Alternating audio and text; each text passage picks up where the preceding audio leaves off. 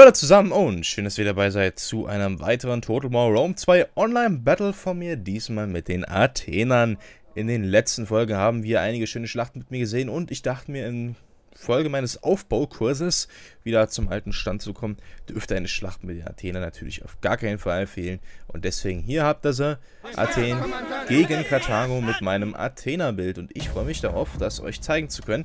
Fangen wir erstmal damit an, was mein Athena-Bild ist und woraus es besteht. Es besteht aus einmal Leinenpanzerobliten, mein General, und ganze sechsmal Leinenpanzer Schwertkämpfer. Drei zu jeder Seite. Dann habe ich noch einmal Bogenschützen mit dabei und ganze viermal Speerträger.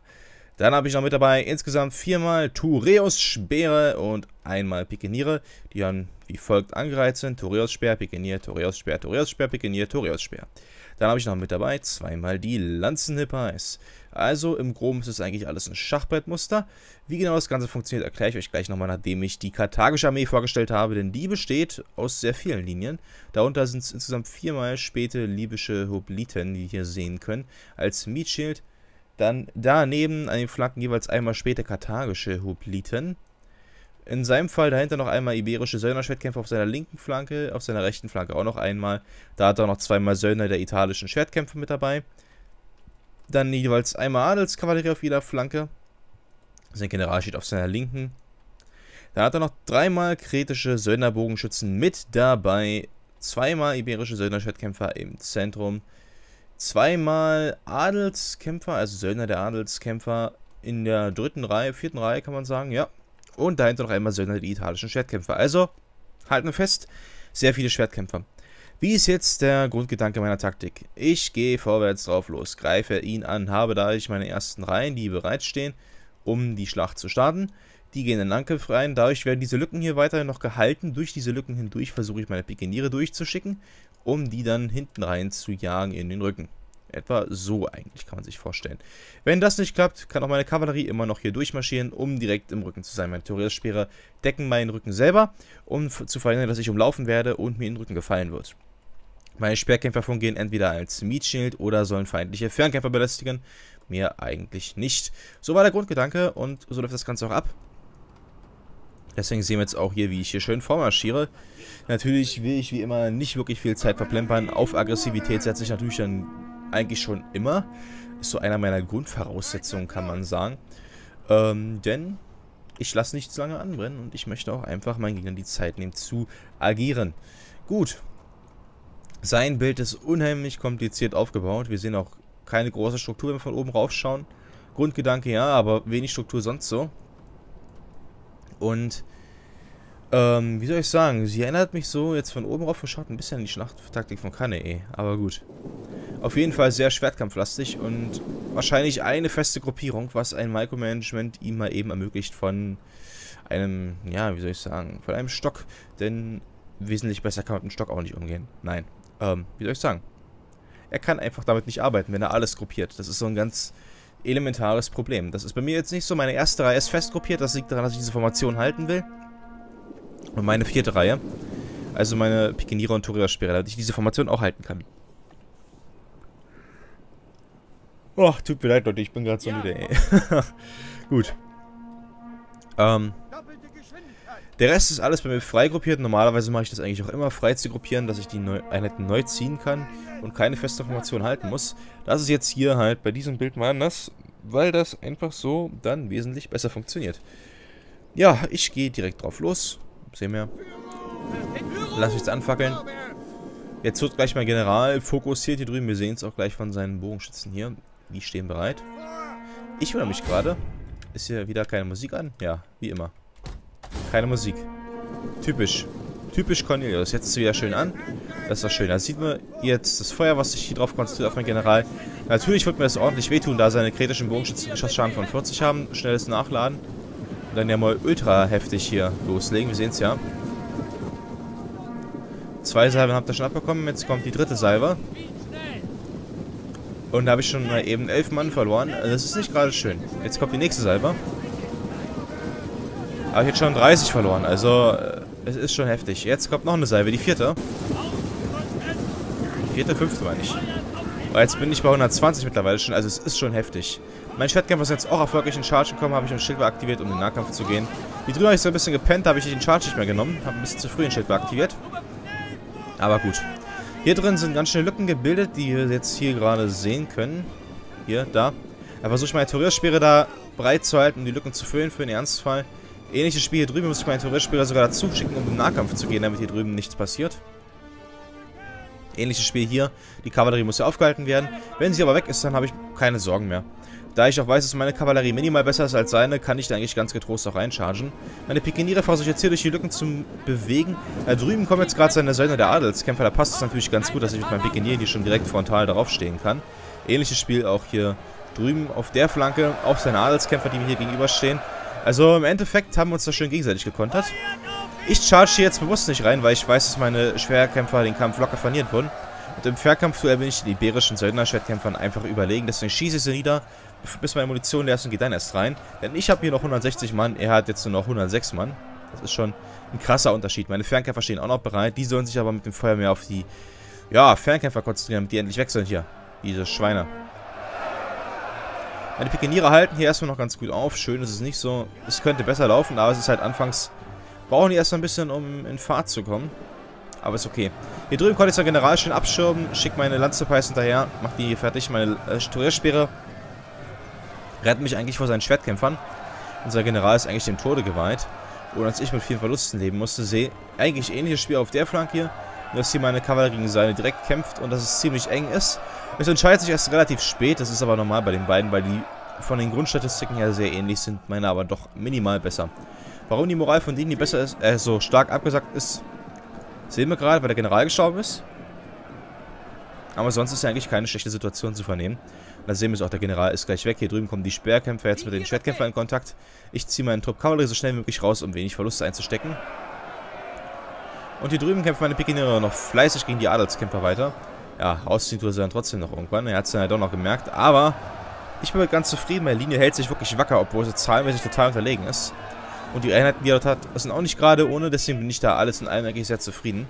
Meine Kavallerie scheint das Ding an den Flanken zu gewinnen. Meine Fernkämpfer rocken hier noch weiter runter. Die kreterischen Bogenschützen sind hier drüben auch schon geflohen. Die hier drüben werden jetzt im Nahkampf fertig gemacht und der Trupp hier hinten ist auch schon geflohen. Da sehen wir. Also ganz so gut lief es für ihn jetzt hier nicht. Und hier ist der letzte lebende Trupp, der jetzt einfach im Nahkampf ausgeschaltet wird. Mein General hat übelste Verluste hinnehmen müssen. Wir sehen es ja schon. Also der hat richtig viele Hitpoints vorbekommen und ist halt auch kurz vorm Tod. Und das werden wir auch gleich sehen, leider. Leider, leider. Aber nicht schlimm, denn jetzt ist er gerade eben gestorben noch im letzten Moment. Das ist dann schon ziemlich ärgerlich, aber gut. Das hat jetzt natürlich die Moral von meinen Touriersperren richtig runtergerockt. Ja, für die laufende Schlacht kommt man dazu. Mein General ist zum Rücken drin, der hat auch noch extrem schlechte Moral jetzt auf einmal. Das ist halt extrem scheiße. Die Touristspieler sind aber auch gleich bereit, die Bogenschützen fliehen auch gleich und deswegen kann ich den Trupp da hinten reinjagen. Meine Speerträger unterstützen den Kampf jetzt hier noch, versuchen sich übrigens auf die iberischen Söldnerstadtkämpfer zu konzentrieren. Und meine Kavallerie hat jetzt den Kampf hier drüben auch endlich gewonnen. Und hier drüben mittlerweile schon wieder so viele Leute verloren durch den Charge hier rein, dass es wieder mich ziemlich ankotzt, aber okay. Auf jeden Fall alles in allem eine ziemlich knappe Situation noch. Also da, wo man durchbricht mit extremsten Verlusten und ähm, das, was halt nicht von mir verkackt hat äh, und noch kämpft, das würde den Kampf wahrscheinlich sogar noch verkacken. Wir sehen es hier drüben mit Slifer und Pikenieren, die jetzt hier geschlachtet wurden. Meine Speerkämpfer können natürlich hier noch, äh, meine Speerträger können natürlich nochmal richtig Schaden ein, anstellen.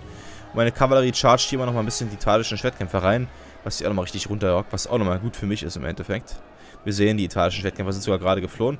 Also, die, da kann die Kavallerie von mir immer noch ein bisschen was machen hier.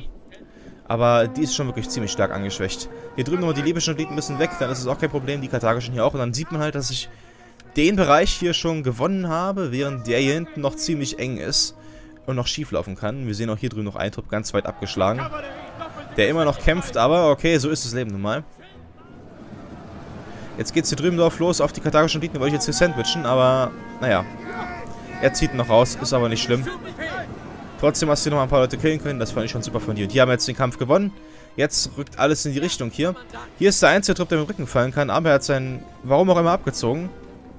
Und ich konnte jetzt meine Touriersperren rausziehen, um die noch zu retten, um da weniger Verluste hinnehmen zu müssen. Das war schon ziemlich gute Idee. Hier drüben wurde meine Kavallerie von dem Pila natürlich erwischt und übelst beschädigt. Dasselbe Spiel läuft auch hier hinten noch immer, also... Ich habe eine sehr, sehr stark angeschlagene Kavallerie, die aber schon viel geschafft hat. Im Nahkampf überlebt hat und äh, den Kampf jetzt hier auch noch gewinnen wird, zum Teil. Hier drüben sehen wir jetzt lauter günstige Schwertkämpfer, die jetzt hier meine Schwertkämpfer umzingeln. Auch hier nochmal die karthagischen Obliten, also... Masse auf jeden Fall. Auch nicht schlechte Masse und die ist hier natürlich ordentlich drin. Meine Fernkämpfer können jetzt hier noch ein bisschen helfen, meine Bogenschützen machen noch ein bisschen Kills. Ich versuche meine Kavallerie noch einzubringen. Wir sehen, da wanken schon die Truppen vereinzelt. Der flieht schon, der wankt. Jetzt halte ich hier drüben noch Feuer ein, um hier drüben noch eventuell den zum Fliehen zu bewegen. Dadurch, dass der jetzt hier nicht mehr umzingelt wird, ist es schon mal ein gutes Szenario für mich. Der fliegt jetzt auch noch. Und jetzt sind hier noch zwei Truppen davon, vier gerade eben noch. Und die fliehen mit ziemlich beachtlichen Zahlen noch. Der Trupp hier hinten lebt leider noch. Der wird mal rausgezogen. Jetzt wird es ein 3 zu 1 Kampf. Oh, puh, kann man sagen. Hier drüben kämpfen jetzt seine Adelskämpfer gegen meine Schwertkämpfer. Meine Kavallerie konnte mal reinchargen und ein bisschen Schaden veranstalten, was gut für mich ist. Meine Pikeniere kämpfen jetzt hier drüben frontal, weil ich dort die Phalanx ausgeschaltet habe, habe ich natürlich da einen kleinen Nachteil rausgezogen. Ähm, ich wollte ein bisschen mobiler sein und es hat mir eigentlich sogar ins eigene Fleisch geschnitten, weil ich es vergessen habe, wieder einzuschalten. Aber nachdem die Phalanx wieder an war, äh, lief es dann auch wieder. Kavallerie charge auch nochmal rein, ist aber gleich tot. Da ist das Ding dann verloren von dem Trupp hier. 170 Kills haben sie trotzdem noch gemacht. Das ist eine beachtliche Zahl, wo ich noch ganz zufrieden bin. Und hier drüben sehen wir jetzt den anderthalb meiner Kavallerie, die noch übrig geblieben ist. Die Schwertkämpfer wurden jetzt hier vernichtet. Ich versuche jetzt hier die restlichen Infanteristen um zu umzingeln.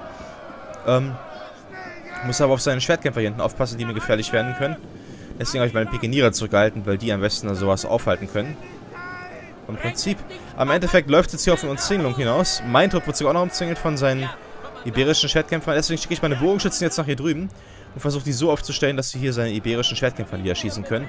Denn wenn die tot sind, dann habe ich das Ding gewonnen, dann habe ich ihn komplett umzingelt. Hier drüben nochmal reingecharged in seine Schwertkämpfer, um die noch ein bisschen zu schwächen. Der war vorher noch bei niedriger 80, jetzt ist aber niedriger 70 bis sogar 60 schon, fast. Das hilft mir jetzt hier nochmal ein wenig. Meine Kavallerie hat immer noch riesen Verluste einstecken müssen. Bitter, bitter. Aber dass ich jetzt hier drüben abkapseln kann, geht es jetzt hier langsam in die Vollen. Die Adelskämpfer verlieren hier nochmal ordentlich meiner durch den Charge meiner Leinenpanzer-Schwertkämpfer. Jetzt wird der hier drüben ordentlich mal umzingelt. Die Bogenschützen schießen auf die iberischen Schwertkämpfer. Also ist wirklich ein knappes Ding. Hier versucht meine Kavallerie drüben abzuwehren, lässt meine Pikeniere in Ruhe. Dadurch kann ich jetzt hier sehen, ruhig den Rücken angreifen, was ich gut finde. Hier drüben seine Schwertkämpfer sind jetzt weg. Geil. Jetzt umdrehen, sofort in die nächsten Adelskämpfer rein. Die karthagischen Nobliten hier drüben sind auch kein Problem mehr. Meine Pikeniere kann ich jetzt hier zurückhalten. Da muss ich mir keine Sorgen machen, dass eine, eine, der italische Schwertkämpfer mir gefährlich werden. Denn ein Trupp Adelskämpfer ist schon geflohen. Der zweite Trupp ist auch gleich dran. Und dann ist das Ding auch gewonnen. Hier drüben sind noch die karthagischen Nobliten, die auch gerade weg sind. Meine Truppe hört sich jetzt hier noch mit dazu. Hier drüben die Schwertkämpfer wanken auch schon. Also es ist ein echt, echt knappes Teil. Hier drüben sind die italischen Schwertkämpfer wanken auch, fliehen jetzt mittlerweile. Also das ist ein wirklich sehr knappes Ding geworden. Ich hoffe, euch hat die Schlacht gefallen. Wir sehen jetzt auch, dass die Einheiten, die am besten von profitieren konnten, waren meine Cavaliers in diesem Spiel. Oft haben wir das bei diesem Bild noch nicht erlebt, aber schön, dass sowas auch mal funktioniert. Und meine Schwertkämpfer haben auch ganz schön austeilen können. Und der eine Tourierspeer mit 291 Kills sogar. Nichts im Vergleich zu seinen Adelskämpfern, die 300 Kills haben. Das ist schon ordentlich. Der hat da mit dem wahrscheinlich wesentlich mehr gekillt als ich. Aber gut. Ich hoffe, euch hat die Schlacht gefallen. Das ist das, was ich damit eigentlich noch sagen wollte. Ich hoffe, euch hat die Online-Schlacht heute gefallen und falls ihr Interesse an mehr habt, dann schaut doch mal vorbei auf meinem Kanal. Immer montags bis Donnerstag 16 Uhr kommen neue Online-Schlachten und falls ihr was Neues dazulernen wollt, dann kann ich euch nur meine Nations Guides empfehlen, die immer samstags und sonntags um 16 Uhr kommen und da könnt ihr auch mal ruhig jetzt draufklicken, die sind immerhin in der Endcard vertreten. Ich würde mich auch selber einen Daumen nach oben und ein Abo freuen, falls euch dieses Video gefallen hat, damit ich weiß, was euch gefällt. Kommentare sind mir wichtig, denn ich möchte meine Videos verbessern. Das geht nur, wenn ihr mir sagt, was euch nicht gefällt. Also rein damit und Livestreams auf Twitch mache ich auch immer montags um 19.30 Uhr. Total War Arena oder auch andere Total War Teile. Also mal reinschauen, dann können wir zusammen ein bisschen daddeln. Facebook und Twitter habe ich auch und die NSA schaut da gelegentlich rein, um mein Privatleben ein bisschen abzuchecken. Das könnt ihr auch tun, also sehen wir uns vielleicht da. Ciao, bis zum nächsten Mal.